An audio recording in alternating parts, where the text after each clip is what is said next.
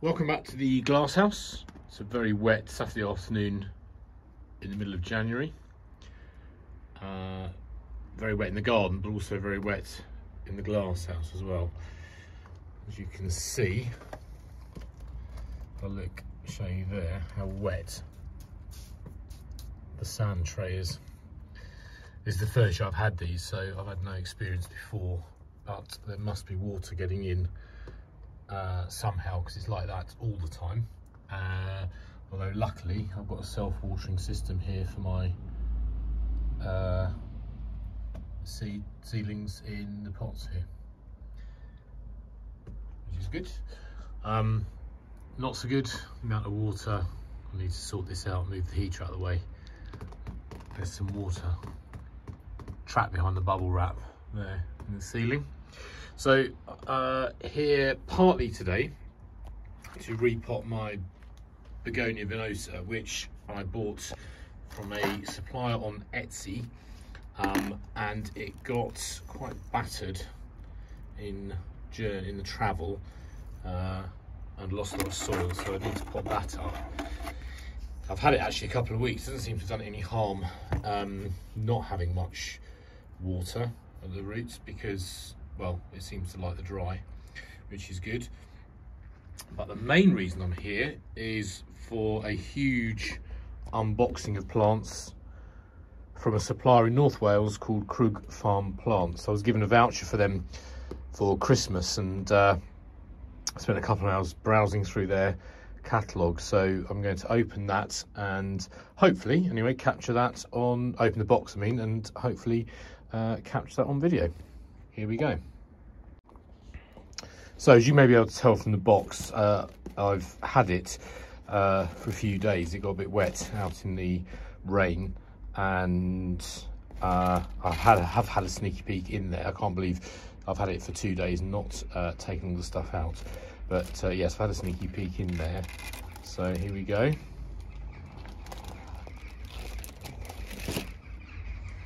Wow. So the first thing, if I can get it out carefully. I'll say the first thing, you can see the first two things. Well, in fact, let me get that one out. I was going to try and get the third out, but let me get out this amazing begonia.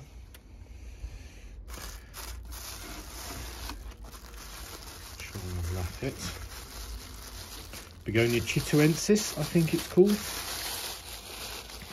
I had no idea from the picture on the online catalogue that it was so big. Yeah, there we go. Begonia chitoensis, a species of this mostly tender genus that they collected from the central mountains of Taiwan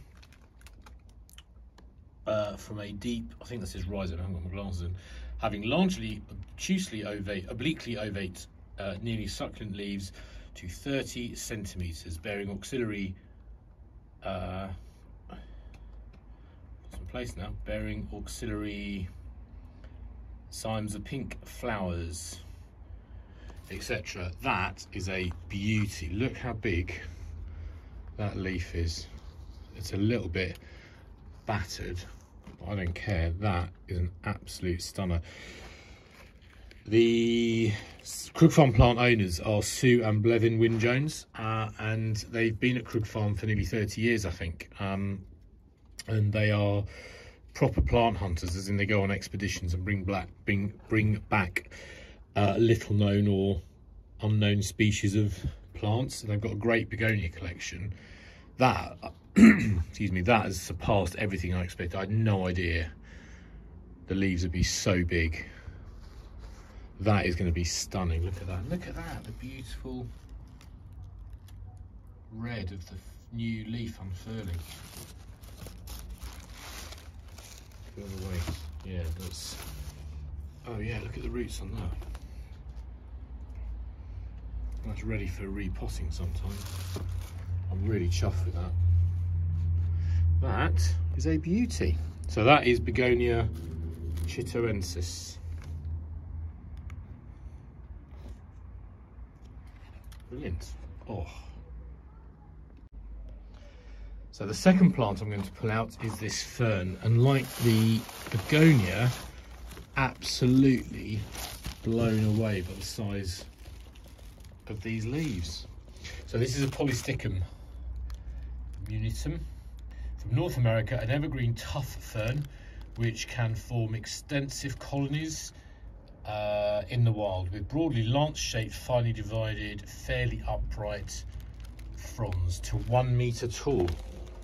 That is a beaut. Look at that. Ferns are one of my favourite types of plant. It doesn't bother me, they've got no flowers on them at all. I just think they're such beautiful plants. You can see I've got a cluster of ferns down here in the corner and some pots under the bench down the end and there's some planted in the gravel under the benches as well. Right, this is going to be a challenge. So, let's have a look. Right, so what? Some.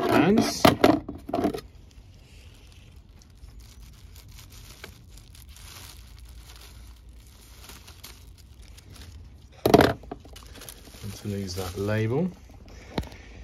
When I had the email back confirming they got all the plants, Sue said, I will dig the fern up, and they surely have, haven't they? Yeah, that will need to go in a pot. Look at that in there. My hands are filthy, sorry. The fronds ready to unfurl. That is beautiful. I'm so chuffed with that. And it's got two decent sized fronds on it. There, and more to come. So I've got a pot. There, which I will see if, oh, sorry. I'll see if it fits in to that. I'll have to play around with that. But no, that is lovely. So that is a polystichum munitum.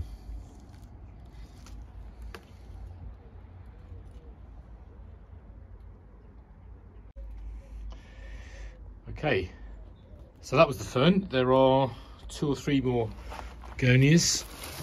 The box has been in the glass house since last night and, and as you can see there's been water dripping into it so it's very very wet. However on the plus side it means it's easier to get the plants out. So this one I've no idea I can't remember well I wouldn't know because I ordered a few. This is one of a number. I suspect this might be one that's deciduous it's a begonia because I ordered five, I think, begonias and one fern. After we had the fern, might be a deciduous one. Yes. So this is a pot of earth. But actually, uh, Begonia sikkimensis, Begonia. Hmm Pan hmm, Panchtharensis, formerly known as identified as Begonia sikkimensis, but now considered to be a recently described species first discovered in eastern Nepal, collected as a dormant rhizome. So that's what they've delivered it as, a dormant rhizome. You can feel there you can you see that? I can't tell the softness of the soil there, but the firmness, the rhizome is in the middle there.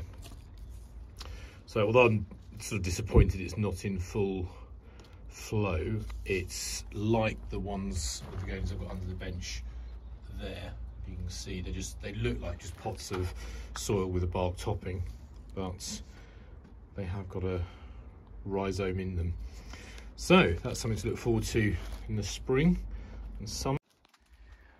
Right, so there are two more plants in here. That box there is just empty for packing. I'll take out what looks like another uh, deciduous one.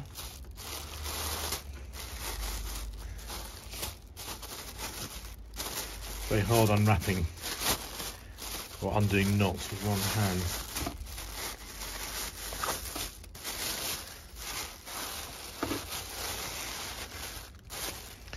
I didn't point out the label before, the back of the label anyway. There we are, Crug Farm.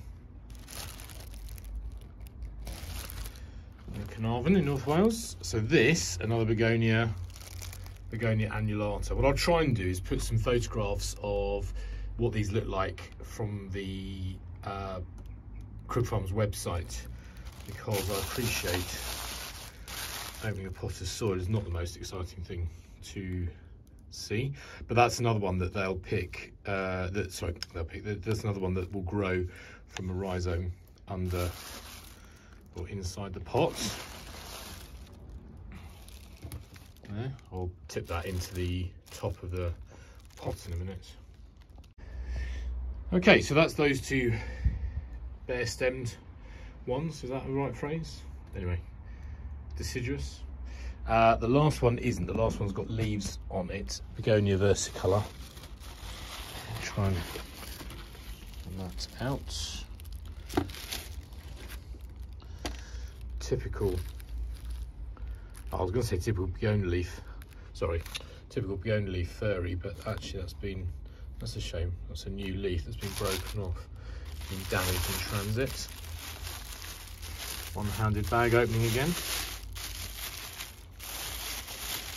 This was one I'd seen last year and wanted, but they didn't have it uh, in stock. They hadn't got any to sell on. So I was really pleased to be able to get uh, my hands on it this year. It doesn't look an awful lot, does it, with the sort of the state that the leaves are in over winter. They're quite hard. I'm hoping they're not too, you know, that I did choose the plants, they would be okay in the glass house over winter. There's almost like leathery like texture to the leaves. So they should be okay in the glass house over winter, just heated to about five to seven degrees. It's a shame it's lost those leaves, but there looks like there's a sort of a healthy rhizome in the soil. So again, hopefully over the summer, that will fill out. Yeah, that's lovely. You can't really, it's difficult to tell. And you can hear how thick the leaves are. Beautiful veining underneath. The veins tinged with pink against the background, the green background of the plant, of the leaf, sorry. How close I can go, look at that. I can see it better on the camera actually than I can in my hand. Getting closer, that is beautiful. And then the leaves have this uh, dark green background with sort of pale light green stripes on it. And that's a newer leaf where the the what what is a dark green background on that leaf is still sort of fairly red and that matches the pinkness of that leaf that was broken off. Is that a leaf coming there? No but again a lovely, lovely plant. But I think my favourite has got to be this begonia here, Chitoensis. That is a beauty. Well, that or my fern.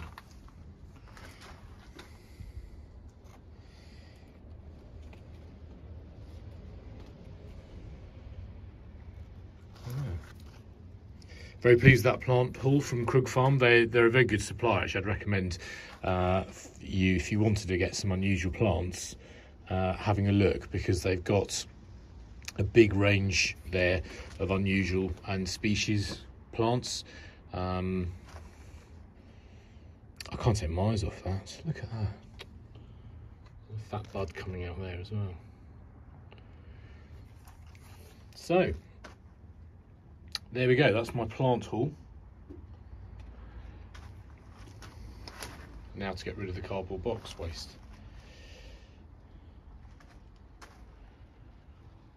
Right, anyway, sorry, Um,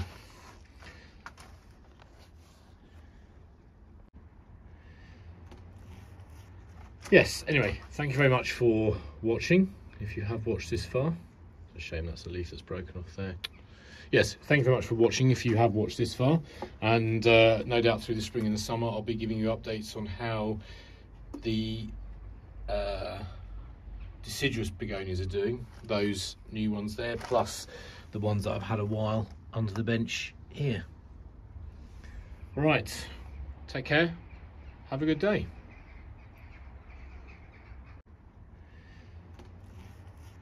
Yes, anyway, thank you very much for watching. If you have watched this far, it's a shame that's the leaf that's broken off there. Yes, thank you very much for watching. If you have watched this far, and uh, no doubt through the spring and the summer, I'll be giving you updates on how the uh, deciduous begonias are doing. Those new ones there, plus the ones that I've had a while under the bench here. Right, take care. Have a good day.